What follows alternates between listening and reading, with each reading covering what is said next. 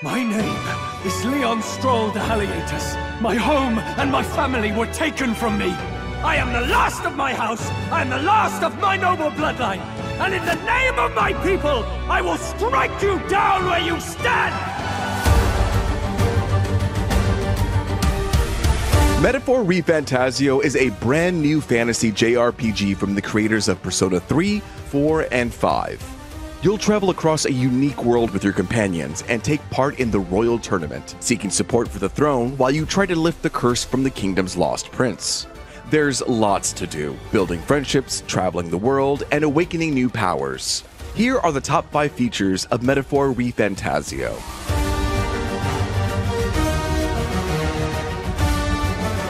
Presented by Metaphor ReFantazio. The Fast and Squad battle systems blends real-time action with turn-based combat. You'll be able to see enemies on the field and you can lock onto them, evade their attacks, and strike in real time. If you run into weak enemies you've already encountered, you can wipe them out this way and continue with exploration in a matter of seconds. Hence, the fast part of the name. You got this. For stronger enemies, you can still strike them on the field to stun them and gain an advantage, but you'll have to shift into squad mode to finish them off. That's where turn based combat comes in. You can bring in four characters into battle, and each turn you can attack, use skills, have a character hand their turn to a fellow party member, swap between combat rows, or switch a new character into the party.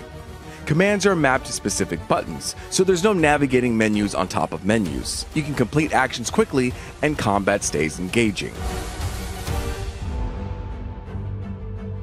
The mission's more important than either of our lives.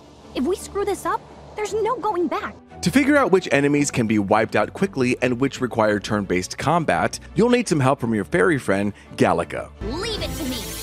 Her fairy sight abilities allows you to get a read on your surroundings and assess the danger level of enemies. They all seem pretty weak.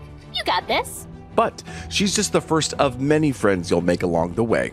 There's Strohl, a young man from the Clemar tribe you meet in an army recruitment center. He's smart, has a strong sense of justice, and comes from a noble family. You know me so well already. But why is a noble enlisting in the army alongside commoners? Then there's Hulkenberg, a knight of the Roussainte tribe and former member of the Kingsguard. Despite her youth, she's an expert at using various weapons, but her biggest failure still haunts her. I failed him. Again. And Heismay is a former knight of the Ujef tribe, whose appearance is vastly different from the other tribes and caused them to face discrimination. We're but another lesser tribe the city dwellers don't care for. That's just a selection of the seven party members you'll meet in Metaphor ReFantazio, each with their own personal backgrounds and stories you can follow as you continue your journey. It'll be up to you which followers' stories you prioritize. You just helped a Paripus without expecting anything in return? Doesn't that just take the cake? Each member of your party will be capable of awakening archetypes, beings they can transform into during squad combat. After awakening an archetype, characters unlock the ability to channel their powers and combine the abilities of unique job classes. Every archetype grants access to different skills and has different strengths and weaknesses. And equipping archetypes that allow you to strike enemies' weaknesses will give you a big advantage in combat. Please. There are a wide variety of archetypes, including mage, paladin, thief, and many more. Combining the powers of multiple characters' archetypes gives you access to synthesis attacks, which are incredibly powerful but cost multiple turns. So, you'll need to strategize to determine the best combination of characters and archetypes for a given fight, and when to use their most powerful attacks. Oh, holy light! Plus, the archetype your main character is equipped will determine their attack style when you use the fast system on the field. So, you'll need to find the right archetype that gives you both the fast and squad benefits you're looking for.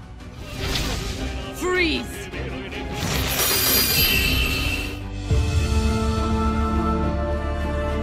Every world traveling party needs a home base, right? Well, Metaphor ReFantazio gives you one that travels with you. It's called the Gauntlet Runner, and it's a massive armored vehicle designed to carry you safely through the dangerous wilderness that connects the large areas you'll be visiting as you gather support. But it's more than just a means of transportation. It comes equipped with several facilities, including a war room, kitchen, lounge, and more. You can cook, read a book, take a nap, or hang out with your friends. Once the Gauntlet Runner carries you to a town, you'll have even more to do. You can hit up the shops to buy weapons or items, or you can go to the local recruitment center to pick up bounties for dangerous monsters. Killing them will reward you with particularly valuable loot, but be careful. Some of these monsters are so dangerous, you'll need to be mindful about which bounties you pick up and when. You don't want to bite off more than you can chew. Metaphor ReFantazio is about more than just fighting monsters. It's about meeting new people and forming lasting relationships that give you the support you need. You'll befriend lots of people throughout your journey. Some will join your party, but others will find different ways to support you. You'll have the opportunity to choose how you spend your time, which includes chances to hang out with your friends and deepen your bonds with them. You'll get to know them better as people and learn about their backstories and goals. Some of these bonds will also unlock new archetypes and other abilities, so there is a gameplay benefit too. But just like in real life, your time is limited, so you'll need to decide on your priorities. You can go on quests, explore dungeons, and hunt for treasure during the day and focus on building bonds at night. But which bonds are most important to you? It might be difficult to max out every bond, so you'll need to choose wisely. Wait, it sounds crazy, but I think he might be onto something there. There's more to Metaphor's world than we can include in just one video. The game is out now, so you'll just have to discover the rest for yourself. Which has you the most excited to dive into this massive RPG? Let us know in the comments below. And for more coverage of Metaphor ReFantazio, stick to IGN.com.